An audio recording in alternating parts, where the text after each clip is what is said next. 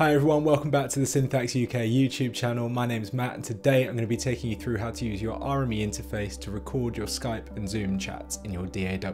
We've covered quite a few subjects in our mini series on how to use your RME interface with Skype and Zoom and in today's tutorial we're going to be using a few of the tips and tricks that we've seen over the last few videos. As I said before, this would be a really quick and easy way for podcasters to record interviews remotely, as well as for bouncing ideas off of bandmates and other musicians you might be working with. Now, we wouldn't actually recommend doing any serious recording using this method. For that, your collaborator would still need to record themselves in their own DAW and pass the files to you through your Zoom or Skype chat. But if you do want to record straight from Skype or Zoom for any reason, perhaps it's for quickly making a backing track or just getting some ideas down, this is a really quick and easy method for doing that. If this is the first video in the series you've joined me for and you're using an 802, UFX2 or UFX Plus, it's well worth checking out video 1 in this series to make sure that you've routed your interface correctly, as there are a few more steps you'll need to follow to get it all working. Now one of the great features of TotalMix FX is the loopback function, which is something that we've been looking at in a few of the other videos in this series. In a nutshell, loopback allows all the audio from any particular output to be sent back to its corresponding input. It's the same as connecting an audio cable from the output of your interface to the input of your interface, except with loopback, all of this is handled internally via your RME interface without the need for a cable. We're going to use loopback to send the signal from Skype or Zoom to an output we're not using, which we'll then use as a recording input in our DAW. As always, we're going to start by making sure we're getting level out of our microphone by checking the gain is turned up to a decent level. We're also going to check that our headphone mix is routed correctly so that we can hear the audio from Skype or Zoom, which we achieve by clicking the headphone output to select it and turning up the volume of software playback channel AN1 and 2. If you want to hear yourself, make sure you turn up your microphone channel in the top row as well. Now here is where the loopback function comes back into play.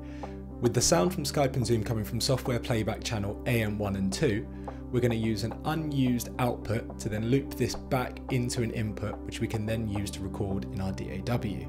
In this case I'm using AS1 and 2 so we're going to route the software playback channel here and once we've raised the level click loopback. Now as always it's worth noting you won't see signal on the input meter as these are always occupied by the physical inputs of your interface. We're now ready to open up our DAW and get ready for the meeting. I'm using Reaper here but the process is the same for most DAWs. I'm going to create one track for my own microphone, which will use whichever input your microphone is plugged into. Now I'm going to create a second audio track for the audio from Skype and Zoom. With this track, I'm going to change the input source to AS1 and 2, which is the input I'm looping back via TotalMix FX. To test that you're getting level, you can simply press the Test Audio button on Skype or Zoom to get a ringtone through, which you can then see in your DAW. Alternatively, as your media players like Spotify and iTunes all use software playback channel AN1 and 2 by default, you could also play some audio through there to check that you're getting signal and that the method has worked.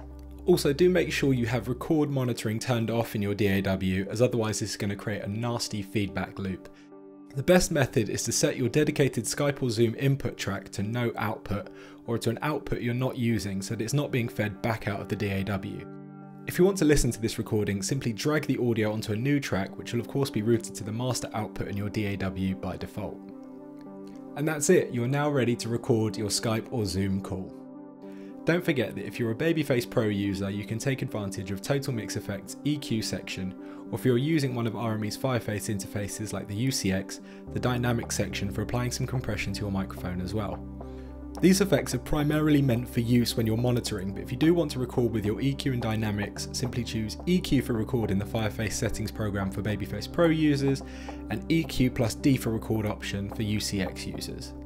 Setting all of this in TotalMix FX can save you time and streamline your workflow, as you can simply recall this setup whenever you want to start recording a meeting.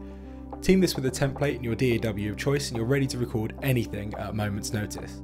If you're looking for higher quality audio to record your meetings and interviews, make sure that you check out our previous video on Source Connect Now, which of course can be recorded using the method that we've outlined in this tutorial, as well as by using their inbuilt recorder.